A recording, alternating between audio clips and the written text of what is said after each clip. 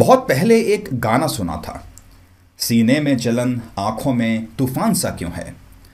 इस शहर में हर शख्स परेशान सा क्यों है?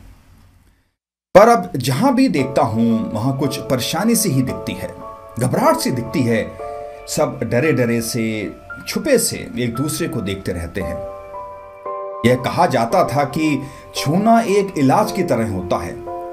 इससे बहुत परेशानियाँ और कष्ट खत्म हो जाते हैं। लोगों को विश्वास और सांत्वना मिलती है। पर अब किसी के पास आना ही डराता है। कहीं ये कोरोना कैरियर तो नहीं। पिक्चरों में देखा करते थे कि प्रलय आ गई, दुनिया बदल गई। पिक्चर खत्म होने के बाद यह सोचते थे कि कितनी खतरनाक पिक्चर थी। शुक्र है यह सच नहीं था। पर अब का सच उस पिक्चर से भी ज़्यादा भयानक है। पिछले साल तक लोगों को अपना भविष्य अंधकार में दिखा था। 2021 में तो वर्तमान भी बचाना भारी पड़ रहा है। मैं छतों पर, अंधेरों में लोगों को घूमते हुए देखता हूँ। धीरे धीरे से चलते हुए वे किसी ख्याल में डूबे रहते हैं। अब तो भूतकाल, भविष्य, वर्तमान, सब एक सा ही दिखता है। लंबी लंबी लाइनें सिर्फ़ अपना टेस्ट कराने के लिए ही लगी हुई हैं। हर किसी के घर में, पड़ोस में कोई ना कोई बीमार है। पहले अपने घर की परेशानियाँ कम हो जाती थीं दूसरों की खुशियों को देखकर। अब वे खुशियाँ दिखाई नहीं पड़ती। किसी के जाने की खबर सबसे ज़्यादा कशकारी होती है। लेकिन अब वह रोज ही सुनने को मिलती है। कितना भी इन सबको इग्नोर करने की कोशिश करें, होता नहीं। बच्चे, एक लंबे समय से घरों में बैठकर अपना बचपन खोज रहे हैं। बड़े लोग बताते हैं, कहानियाँ अपने स्कूल जाने की, खेलने की, कक्षा में बैठकर पढ़ाई करने की, शैतानियों की और इम्तहानों के सच्चे आनंद की। बच्चे इन कहानियों को राजा रानियों की कहानियों की तरह सुनते हैं। एक समय एक राजा की तीन रानियाँ और सात बच्चे थे और वह बहुत खुश थे। लोग कहते हैं, पॉजिटिव रहो। लेकिन यह पॉजिटिव शब्द से ही डर लगने लगा है। किसी के साथ भी अगर पॉजिटिव जुड़ता है तो लोग भागकर दूर खड़े हो जाते हैं। जैसे कि कोई भूत देख लिया हो। किसी बीमार व्यक्ति को मदद की ज़रूरत होती है।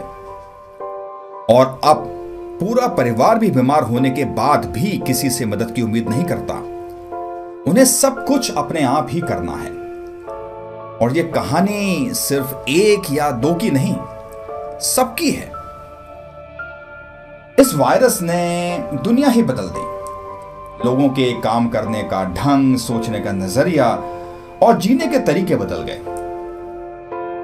किसी ने कहा था कि पैसा जान नहीं बचा सकता। इस बात का मतलब अब समझ आ रहा है।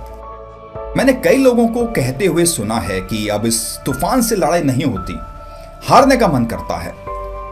लेकिन यह बात भी समझनी ज़रूरी है कि तूफ़ान भी हारता है, थकता है, और जल्द ही वह रुकेगा और हमारे सामने सर झुकाएगा। बस कुछ समय और इसे संभालना है। सिर्फ़ अपने आप को ही नहीं, अपने पूरे परिवार को और दूसरे लोग जो टूटे हुए हैं, हारे हुए हैं। आप ये करें और आपकी सर्वोत्तम लीडरशिप ट्रेनिंग पूरी हो गई और आप एक लीडर बन गए। यह पहली बार नहीं है कि इंसानों को परेशानियाँ झेलनी पड़ी हैं। इससे पहले भी कई बार, कई मुश्किलों से हम लोग बेहतर और मज़बूत होकर बाहर निकले हैं। इन लड़ाइयों में हमने बहुत कुछ खोया, लेकिन उसके बाद उससे कई गुना बनाया। वह सब कार्य तो अभी बाकी है। बहुत कम लोगों को ऐसे मौके मिलते हैं कि जब वे अपने आप को पहचान सके हैं, अपनी ताकत, अपनी असली शक्तियों को अपने अंदर से निकाल सके हैं। हम सबको यह मौका मिला है इस कहावत को आजमाने का, यह जानने का कि यह कितनी सच है।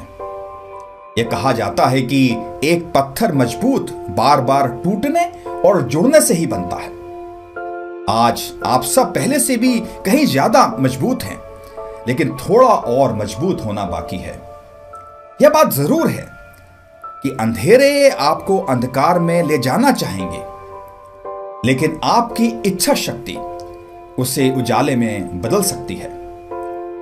अब चाहे जो भी हो, पूरी मजबूती के साथ इस तूफ़ान के सामने खड़े रहिए और आने वाले समय के अंदर विजय आपके साथ खड़ी होगी। हमेशा से ही ऐसा होता आया है और इस बार भी ऐसा होगा।